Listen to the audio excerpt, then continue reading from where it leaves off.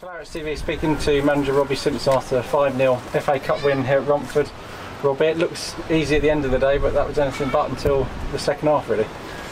Yeah, it, it, it was it was difficult to win the game. I, I don't think we were ever ever worried about losing the game. It was just how we were going to win it uh, and break them down. We we didn't know how they could either have gone two ways about it today. They could have come at us and shown us no respect, or they could sit in and and show us a lot of respect. And and they did the latter. Um, they they tried to have a really slow tempo game, um, which meant the ball was out of play a lot, and when it was out of play a lot, there was there was a long time between it not being in play.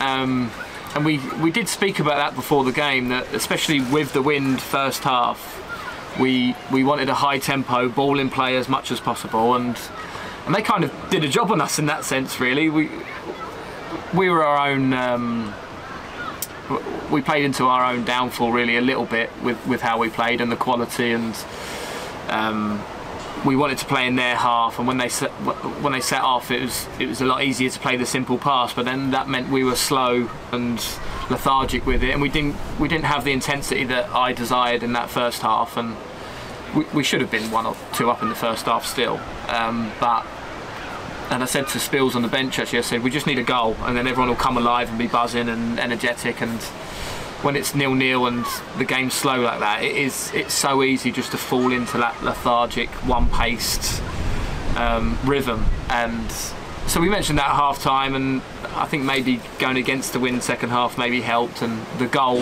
definitely helped us. Um, the goal was the one moment where it was it was just a quick bit of play, you know, one two touch, forward running with intent, and we get the goal. And then once we got the first goal, I thought we were outstanding and what I wanted to see for the whole game. But we we scored some fabulous goals today, really well worked goals, and the subs came on and they seemed to um, hit the ground running, all of them when they when they all came on. So it was um, a good afternoon at the end of the day. Yeah, and your first half we didn't do that much wrong. We still created a lot of chances, but it was just about getting that final killer instincts at the at the top end of the pitch. Yeah, and we were because we were taking maybe too many touches or too long on the ball. We were making mistakes. We were passing out of play and um, overhitting passes, and we just didn't look on the same page. We didn't look on the same wavelength. But once you quicken up your play, and I, I, one thing actually in the first half, I felt thought we were really quiet for some reason. It was you could hear, you could hear a pin drop at, at, times, and and the voices in the second half were, were much better, which meant we played better. It, it's just it's the game is so much easier when you're talking, um, and and we were too quiet today. Um, but fair play to them second half. They took a ball we said at half time, and and it, it, it, looks good scoreline at the end of the day. Yeah, I was going to come on to that. What, what did you say at half time? Because it was, uh, you know, it's a, a, team we, we we should beat three leagues above them, then the Essex Senior League or National League side. So we sort of just try not to be sort of impatient and you know and, and worry about it and it'll just come. Yeah, I think um, exactly that. Be patient, but but play with intent. Play forward, run forward, be sharp run fast and hard and they're sprinting behind. It's sprint to get the ball, even if it's just a little jerk off five five yards to get the ball. It's just that kind of intent and tempo and and that's what we said at half time. Really, our intensity just needs to come from like a day at the beach, what, what it was in the first half, to we're in the FA Cup here and we need to we need to get through and um, and that's all it was really and uh, and they they got it in the end and the first goal came after the, the stop-start nature of the game. That three times taken yeah. free kick that we maybe sort of helped us because Romford maybe sort of um, lacked a bit of concentration at that time, and, and Simeon and Cal pouncing it. Yeah, well, we were we were um, moaning at the ref for stopping the free kick. I think it got taken three or four times, and we were really moaning at the ref because the first the first time we took it, we were we were in and out the other side, and we played quickly, and that's another thing we said at half time, like get your hand on the ball and play, get the ball in play, and the ref kept bringing it back, and then eventually, like when we scored, we all turned around and went, "Yeah, well done, well done, ref, great decisions. The ball was moving." So yeah, it's funny, and like I said, it, we needed that goal, and once once we got that goal, we we seemed to just well even before the goal we were better, but we weren't quite at our levels. But then once we got that first goal, it just seemed that everything just fell into place. And Ade got himself a goal, but also good at the back, along with debutant Frankie Terry.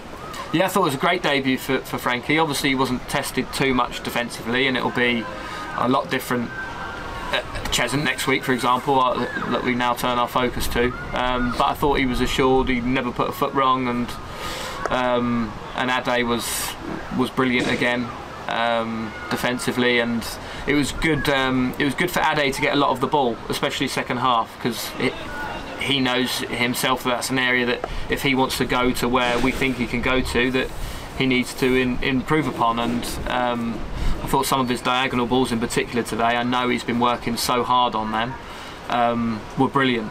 Um, particularly second half. Obviously, it's easier for me to see second half because he's right in front of me, but they were bang on the money, a few of them. So, um, yeah, credit to him. And we always like it when our defenders chip in with goals. So, well done. And also the subs that really hungry when they come on. Kai, I think was supposed to start, but he come on. Tom Blackwell got himself a goal when he come on as well. Yeah, Kai was at trouble on the M11 coming from Cambridge, so he, he um, I think he got here about 20 past two. So we made the decision just to switch that because he would have started. And I think when he came on, he showed why he would have started. You know, his his quality is top level top level quality. It really is. And on a pitch like this, with the space that and positions that he could have picked up against the opposition, no disrespect to them, but um, we knew that he would be he would unlock them, um, and he did time and time again. I think he ended up with three or four assists in the time he was on. So yeah, it was um, it was good to get him on, but obviously disappointed he couldn't start. Yeah, and um, the fourth qualifying round again for the second year in a row. So it's just about sort of we learned the hard way at Harrow last year and, and trying to sort of recover and sort of learn from what we did wrong last year and put it right this year. Yeah, I'll be honest, in my head, I want to put the Harrow one to bed. So we need to win. Getting that first round proper and then that Harrow one's forgotten about. So let's make sure we do that. And, and obviously, the, the, draw, the bigger teams come in now in the league above us. So the draw will be the draw, but let's get through. Okay, well done today, Robbie. Got through that one really well done. And uh, speak to you next Saturday. Thank you, appreciate it.